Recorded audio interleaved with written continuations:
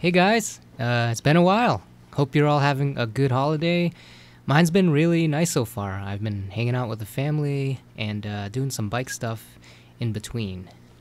A quick update my current build, the Longtail build, has uh, gone through some drivetrain changes. I swapped out the BMX 110mm hub and laced in a 135mm single speed hub uh, I'll explain in more detail why I did this uh, in the next build video. So changing the hub caused me to have to change some other things.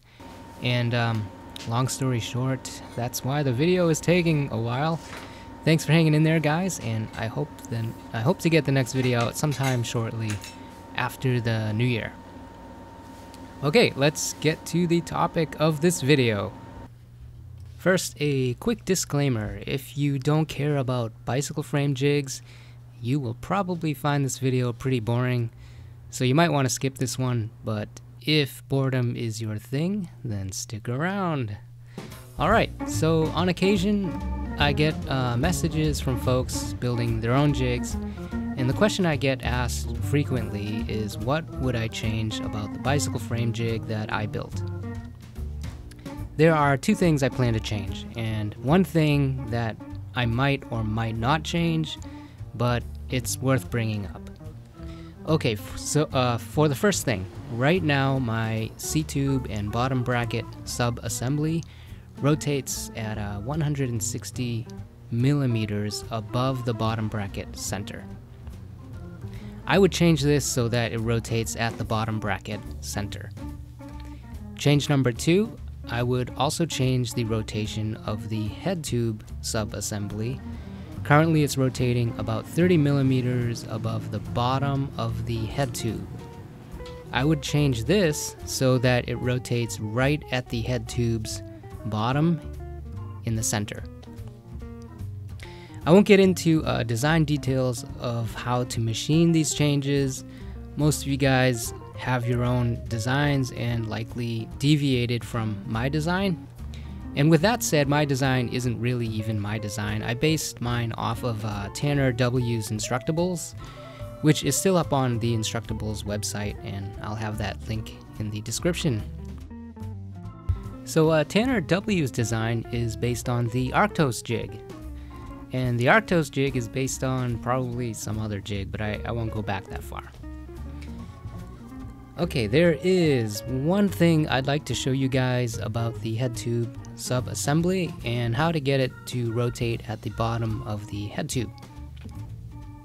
You can see here that I have a cone that centers the head tube on the bottom and depending on the head tube's diameter, the head tube will sit higher or lower on this cone, thus throwing off the head tube's ability to sit in a constant position at the desired rotation point.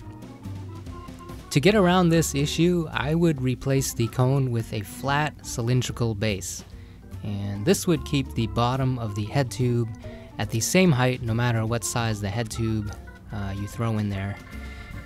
Now for the reason I would make these changes. It would make setup so much easier than what I've currently got.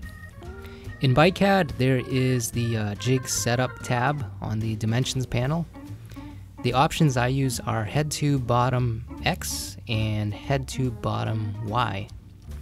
Both of these measurements are based off of the bottom bracket center. So if I have the bottom bracket center at a fixed position such that it always rotates on its center, I can easily measure these distances using the spine of the jig. I could uh, even have a ruler on the jig. Uh, right now the assembly rotation point is above the bottom bracket, so uh, the position of the bottom bracket relative to the spine of the jig changes when I rotate the assembly, and that is why I cannot use a rule on the spine of the jig. As for the head tube assembly, all the same stuff applies. If the head tube's bottom is fixed at the rotation point of the assembly, then again I can use a ruler, but it's not, so I can't use it. I have found a way to set up the jig in its current configuration, but it involves math and a triangle calculator. And uh, it's not convenient at all. It takes like way longer than it should to set up. So yeah, I'll be making these modifications at some point in the future. Now on to the third change, which is more based in paranoia than fact, but I'll show you guys anyway. When designing a part or assembly, you will sometimes run into that gray area where designing it one way or another may or may not make it more structurally sound and or accurate. In this case, for what I'm about to show you, it's more about accuracy. And uh, because I have not tested any of this, it's mostly based on a hunch and uh, that hunch tells me that I may be only sacrificing two or two to four thousandths of an inch, which is not a big deal and is probably the reason I won't actually follow through on this change. But if I were to make a whole new jig, I would very likely change this part of the design. And that part is how I attached the two sub assemblies to the jig. I drilled straight through the extrusion and mounted them up with an M8 screw. To illustrate why this is probably not the best way to mount the extrusion, we'll take a look at a side view of the extrusion. In this view you can see it's basically an X pattern and uh, the extrusion was specifically designed to be attached to things and have things attached to it by inserting a flat nut inside its channel. Uh, these little wings are uh, designed to take the pressure of that nut without compromising the extrusion's uh, structure. So let's take a look at how I've attached my extrusion. I sent a screw straight through it and uh, the cap of the screw rests above the extrusion's center. So when I apply force to the screw to attach the extrusion to the jig, it compresses the extrusion in a way that was not uh, it was not designed for this. It was not intended to be uh, tightened in this way. And that is likely throwing accuracy off by uh, several thousandths of an inch. Okay, guys, I hope this was uh, useful to you if you're out there building your own jig. I'll have links to uh, Tanner W's Instructables in the description and uh, some other links in there. Uh, thanks for watching, and uh, hopefully, I'll see you guys sometime around the new year. If not, Happy New Year, and uh, see you guys later. You know what? I changed my mind uh, about the head tube assembly. I think I would not use a flat cylinder at its base.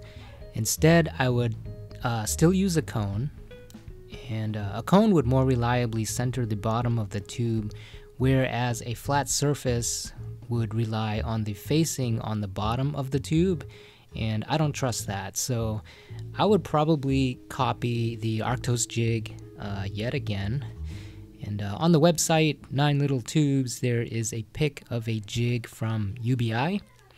The bottom cone is uh, height adjustable. I would do this.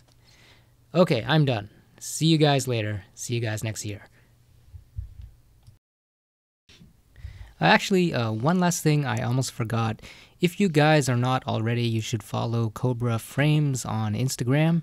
And he is, as I speak, building a frame jig, which is, I think it's based on the Arctos jig. I'm not positive, but I think it is. And uh, he's posting pics of his progress there, so give him a follow if you want to see how his jig turns out. All right, see you guys later.